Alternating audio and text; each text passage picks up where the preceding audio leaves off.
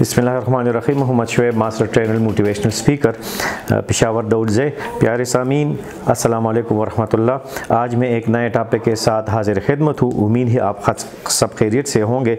आज का टॉपिक है इम्प्रेस और इंस्पायर होना। इंस्पायर और इम्प्रेस में फ़र्क क्या है। याद रखिए, लोगों को इंस्पायर करने वाले लोगों के दिलों पर हुकूमत करते हैं। यानी जो लोग लोगों को इंस्पायर करते हैं, वो इनके दिलों पे हुकूमत करते हैं, उनके दिलों पे राज करते हैं।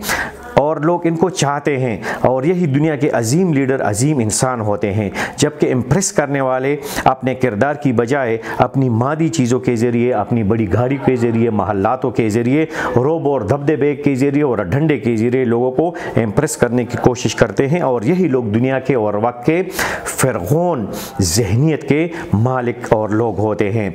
इंसान ऐसे लोगों से मोहब्बत नहीं, बल्कि नफ़रत करते हैं। इंस्पायर और इम्प्रेस में फ़र्क ये है कि कौन से लोग लोगों से इंस्पायर होते हैं। याद रखिए, वो लोग जो इनमी लोग होते हैं, जो अदीब लोग होते हैं, जो शायर लोग होते हैं, जो अजीम लोग होते हैं, जो हमेशा के लिए जो फ़िलासफ़र और जीनियस लोग होते हैं और इलमी लोग और अच्छे किरदार वाले लोग होते हैं, वो लोगों से इंस्पायर होते हैं।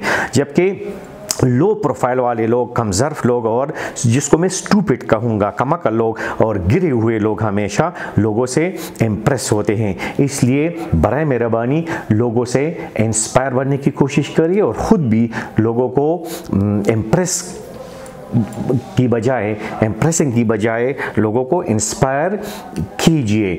अस्सलाम वालेकुम वरहमतुल्लाह।